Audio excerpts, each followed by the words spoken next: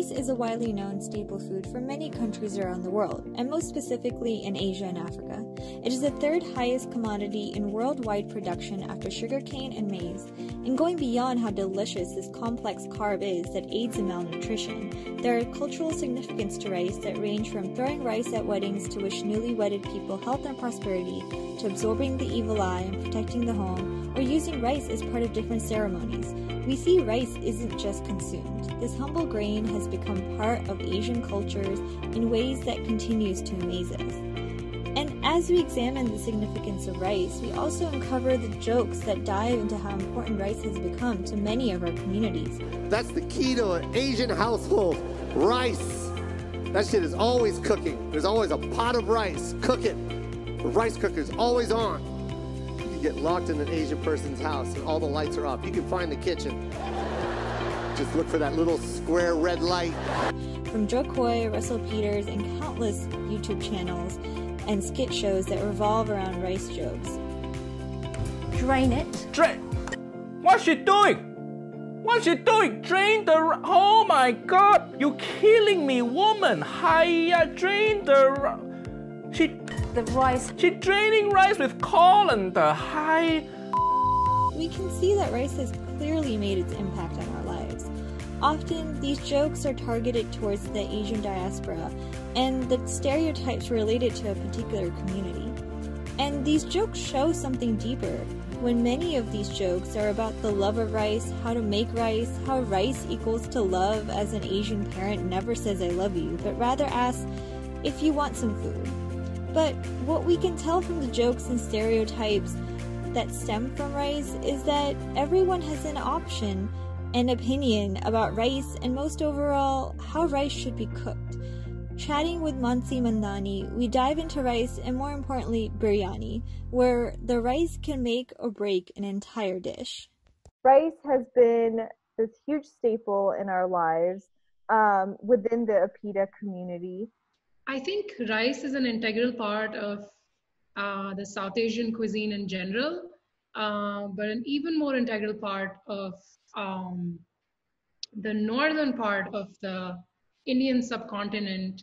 My favorite dish overall, if I had to name one food that is my all-time favorite food, uh, is is a biryani, uh, which is rice and meat and all different kinds of different spices and herbs that are used together to create a single dish after layering all of these things that I just talked about in more than eight layers. And we just leave it to cook for a long time in the oven um, for about an hour or so. Rice obviously is a, is a very important part of a biryani and um, good rice and good quality rice and a specific kind of rice is um, is unique to this recipe because we can only use uh, the long grain basmati rice. So when it's actually cooked out, it's open and airy, mm-hmm. uh, different from other uh, kinds of rice that we use in our country or in the in the subcontinent. So can you share a little bit about how you kind of prepare the rice in your recipe, and then a little bit about biryani, I guess. Sure. Um, so in my recipe, I parboil the rice, uh, which in simple terms means um, just using the regular long grain basmati rice, uh, soaking it in water for about 15 to 20 minutes.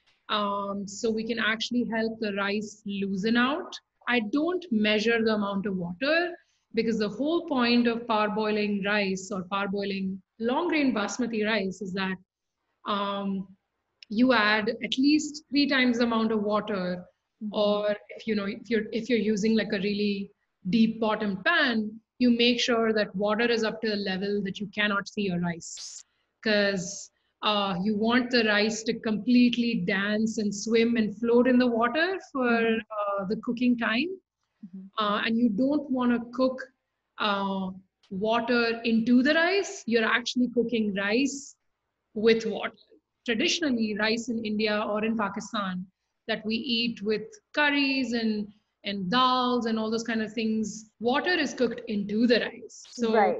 if you so the take, water would disappear.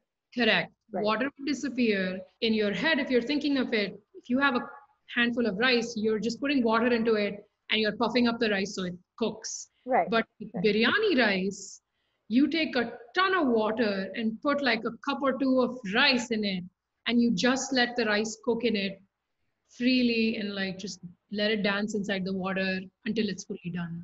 hmm Um, actually, not fully done, three fourths done. You cook it only up to 75% doneness because in biryani, um, when we layer it at the end of it and put it in the oven for slow cooking, uh, the rest of the cooking of the rice happens inside the oven with all the spices and all the flavors and all the curries and all the Mhm. um, herbs. So that's why it's important to not cook it fully because you want the last part of your rice's cooking to be done along with all the 25 spices that are around it in that oven. And then also that means that because the water isn't soaking into the rice, you're actually draining the rice Yep.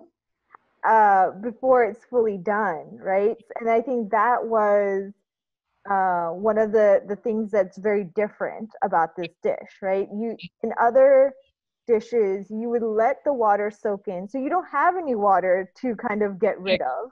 Uh, whereas biryani, and especially th- your recipe, means that you actually drain the rice, and then the rice itself almost gets a um, like fluffiness. Because if you overcook the rice, Mm-hmm.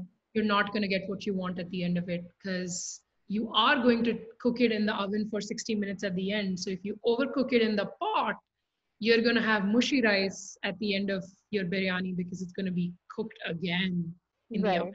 Right. So as soon as it's 75% done, I turn off the flame and uh, I strain it out in a colander, um, which is the only way to do it because you want to remove the water uh, from the rice as soon as you can. Because even a little bit of water, even that one minute where rice sits in that in that pot before I strain it out, the rice is cooking.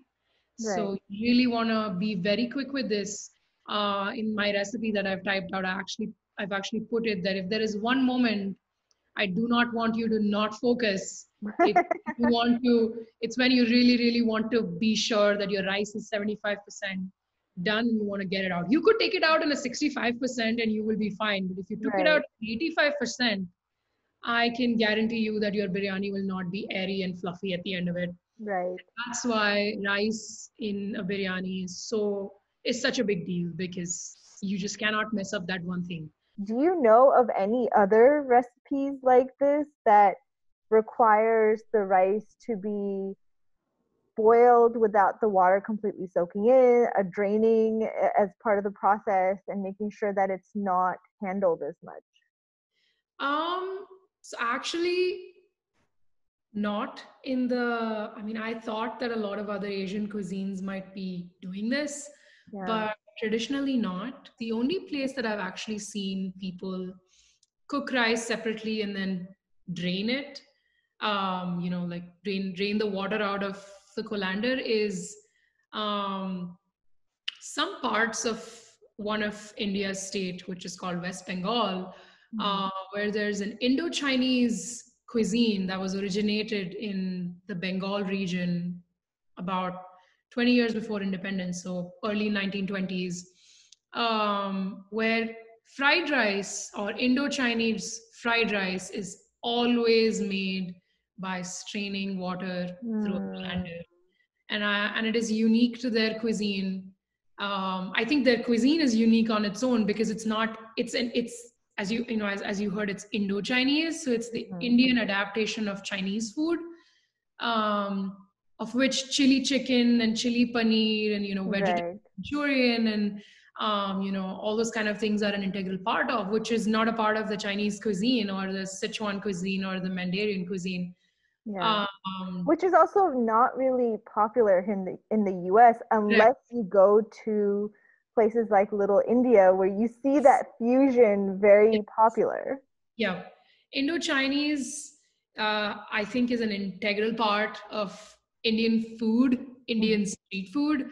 There's a ton of Indian Chinese um, carts and food trucks spread out throughout India, uh, south, north, east, west. But it originally started in Bengal, Mm. and that's why uh, Calcutta, which is uh, the capital of West Bengal state in India, has um, probably the widest variety of Indian Chinese cuisine, Mhm. and their fried rice um, is made like that. They cook the rice with a ton of water and they don't let the water boil completely and they strain it out through a colander because they need their rice to be airy and fluffy. And uh, uh, I don't know, I think Sharon, if, if, if you've noticed, but one of the Bengali food channels, Bong Eats, they Mm. have uh, they have an authentic um, Calcutta uh, fried rice recipe, which is an Indian Chinese fried rice recipe, and they do exactly that. Awesome. I will link that in our Yes. down below. um, and so, you know, I, I mean, thank you so much for sharing your knowledge. I mean, I when and instantly when we were like thinking about, oh, how could we, you know, have a conversation about rice because there's so many different opinions Yes. about how it Mhm. should be prepared, how it can be made, how it should be eaten. Um, there's so many jokes. Comedians always, you know, have some joke um, about rice somewhere. Um, and I thought of you because I know that this recipe is very near and dear to your heart, this biryani recipe, but you have tips and tricks that you're very specific about. So I thought of you. Um, but I don't know if you've seen the Uncle Roger viral video um, and his reaction to the BBC Food um, chef making fried rice, where um, she does, you know, boil the rice without, you know, letting all the water soak in and draining it. And he's, you know, going through a range of emotions. Um, have you seen the video and what's your reaction to it? Um, I have seen it. Um, to be honest with you, I think my first reaction was I don't know what the fuss is about, and it's I don't understand why there's so much fuss around it. But then, uh, as with everything in life, I think I try to think a little more about why he's responding in a in a certain way. Um, my response to that to that response is that um, I think it's completely okay for everybody and anybody in this world to cook rice the way they want to because nobody's doing it to let anyone else down. They're just doing it because of a reason, and that reason Right. can be anything. It can Right. be convenience, it can be following a rule, it can be following a tradition, it can be um, just feeling like it or whatever it is. So I Yeah. think it's completely okay to cook rice a certain way. And I, I was actually taken aback by the by the response for that specific colander use because um, it is very important to do that in a fried rice and maybe she's trying to make a similar kind of fried rice um, because you do want your rice to be airy and fluffy and i Right. I don't fully understand why um, it is such a big deal to strain it through a colander if you're actually getting what you want to do uh, and you get your final result. I'm not quite aware of why it's such a big deal. So my response is, in I think in one sentence, it's it's fine. I mean, why why is it? It's it's okay if somebody wants to strain a rice out of a colander and um, have fluffy rice. Uh, I'm I'm very on a personal basis. I'm I'm not I'm not going to agree with him because I cannot make a biryani without doing that Right. uh, and I think my biryani would be a failure if I if I made it right. If I made rice the way I make it for my other Indian foods, or even even the rice that I jasmine rice that I cook for Thai food or Burmese food. in the comments, people were like, "Yeah, that is wrong," and you know, um, I never thought about like making rice this way. That's weird, right? And it's like thinking about it. There's so many cultures, you Right. know, and so many communities within the APIDA, um, you know, makeup. I actually have one story of uh, my mother sharing this with me uh, when she got married to my dad and um, met her mother-in-law. So biryani originally uh, started in Afghanistan and then slowly traveled to Pakistan and then came to India with the Mughals. Uh, so my parents um, were born and raised for about 10, 15 years in current day Pakistan soil. Uh, so they actually spent a good amount of their childhood around a community, uh, or actually in a community where biryani was like a like French fries and ketchup, like Mm. all the time. It's not a big deal. Traditionally, colanders were not available, so people would actually just, you know, once the rice is done, Yeah. with their bare hands, they would actually let all, they would just tilt the pot and let all the water fall away. And then the last part, where you cannot let it free fall and you need to prevent it, they would actually put their hand and collect the rice grains. And my mo- and when my mom told me that, I was like, "You're joking, right?" And she was like, "No, people did it, and you know, it was just a regular."